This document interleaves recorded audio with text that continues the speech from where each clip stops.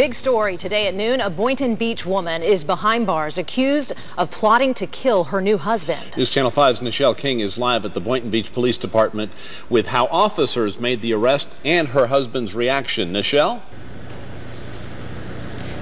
All right, well, that woman's name, Dalia Dippolito, and this morning she started off her days devastated in tears on a report from police that her husband had been shot in the head twice and killed.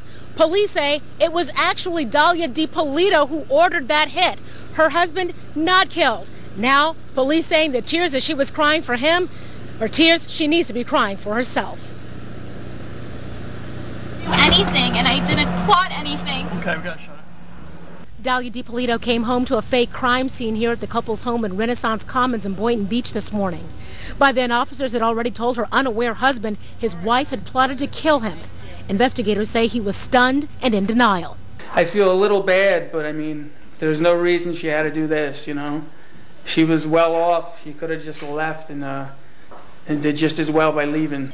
Investigators say last Friday, 26-year-old Dalia Dippolito tried to hire a hitman to kill her 38-year-old husband, Michael. That hitman turned out to be an undercover Boynton Beach cop. He says Dalia paid him $1,200 up front to secure the deal and get a gun. The rest of the $3,000 she'd pay when the hit was done, confirming with a phony hitman a, quote, solid deal. The phony hitman met with Dalia a second and third time to confirm the hit. She told him, quote, I'm 5,000% sure I want it done. When I set my mind to do something, I get it done. Here's a woman who's saying she's 5,000% sure she wants her to pay for her husband to be killed. And then at the scene, you have a woman who is sobbing uncontrollably because she's just learned that her husband is dead. Now, so far, Boynton Beach police say that they have no motive in this murder for hire plot.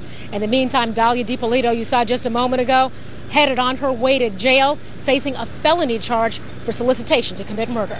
That is latest live here in Boynton Beach. Nichelle King, WPTV, News Channel 5.